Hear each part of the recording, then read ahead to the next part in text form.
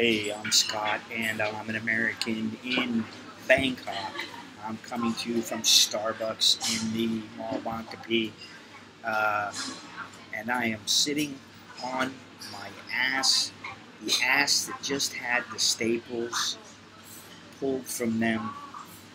Uh, went to the doctor today. They yanked out the 20 staples, so I'm feeling good. A little sore, a little bit of a little, little sting, but uh, other than that, I'm, I'm doing good.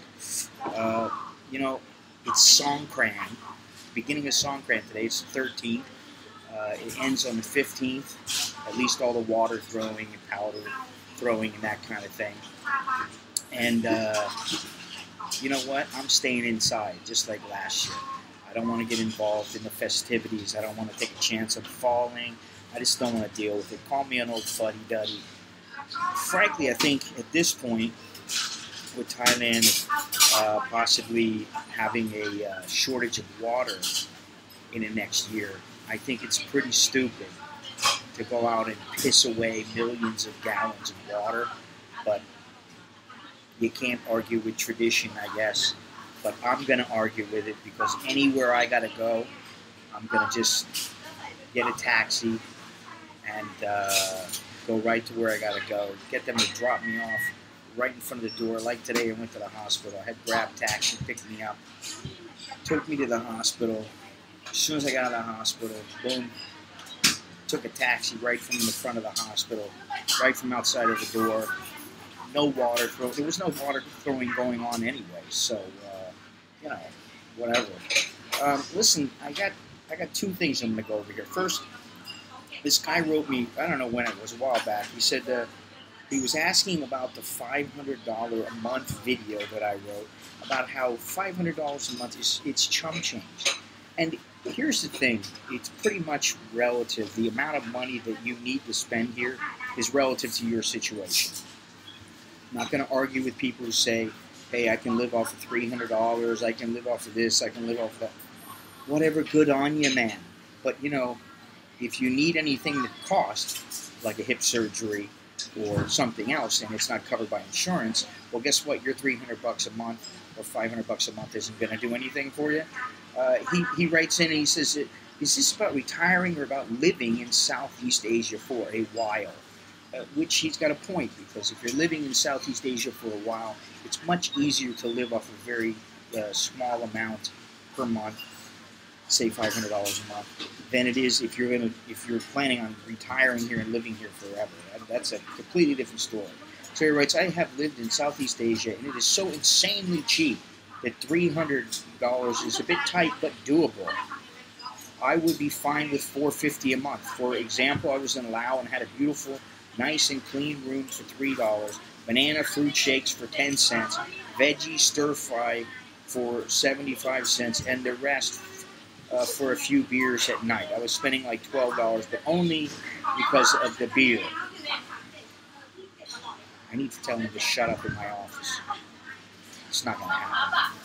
Um, anyway, I went back to you can stay short term in various countries in Southeast Asia for very little, but uh, living is a very different story. You can survive.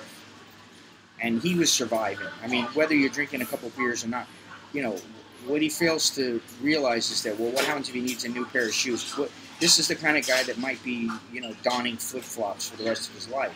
Now, I like to wear flip flops. I like to wear sandals, but I also have you know some decent shoes, a couple of pair of decent shoes to wear for whatever situation, uh, whatever the situation warrants.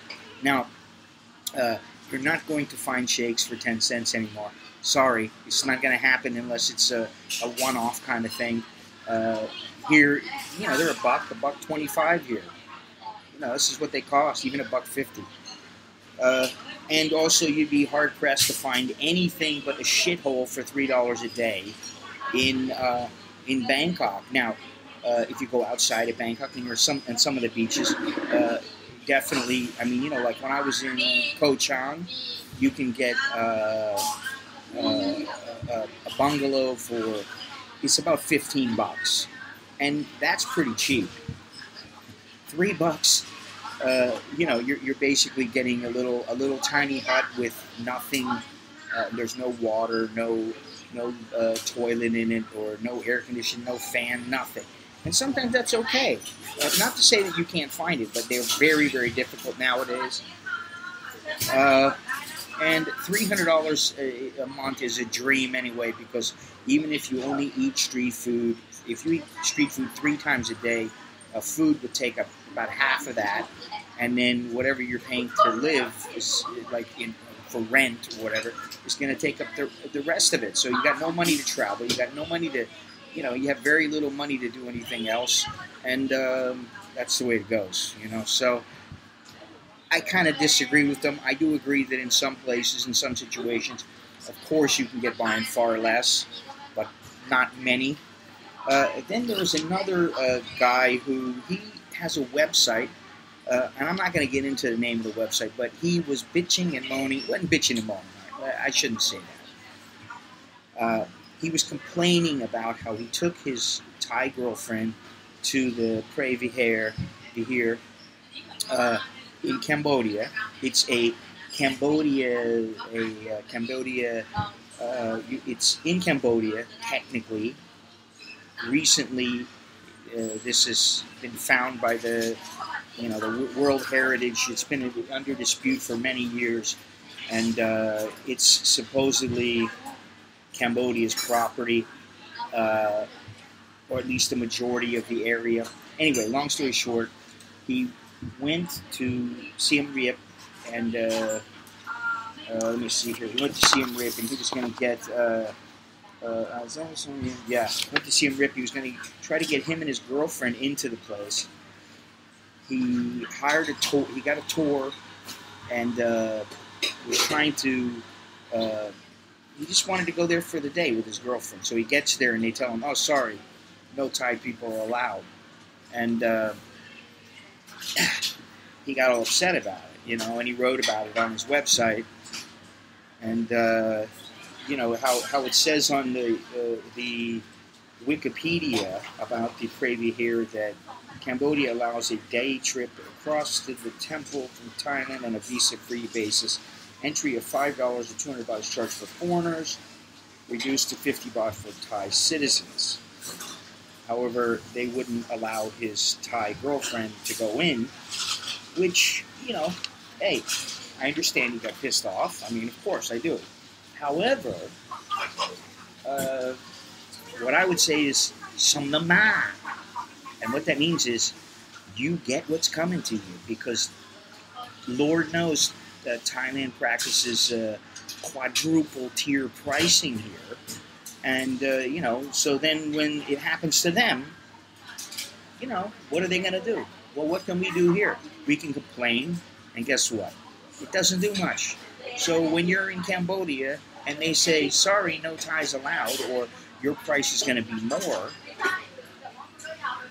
oh well, you know, that's the way it goes, buddy.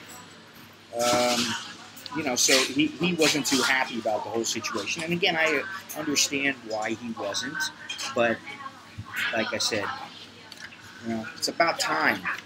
It's about time, time the Thais were complaining about being charged more or not being allowed in somewhere when they're the ones doing it to others in their own country, which I disagree with it in, in any country, in almost every single situation. All right. Uh, well, I'm going to try to keep this short.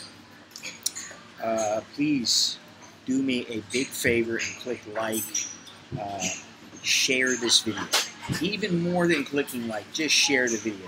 Share it with a buddy, share it with somebody else. Uh, share, share, share. That's what's important. Please, like, share, keep watching. Visit my website at anamericaninbangkok.com. And if you can't remember that, Remember, an American in Thailand.com. It'll send you where you got to go. Uh, and if you have any questions, send them to an American in Bangkok at gmail.com. And your question could be chosen for me to answer on this channel. Until next time, I'm Scott. I'm an American in Bangkok, in Starbucks, where I'm having an orange juice. I'm off the coffee. Believe it or not, I've kicked the espresso habit. I'm on orange juice, and water. So until next time, choke D, El Chuck Admai.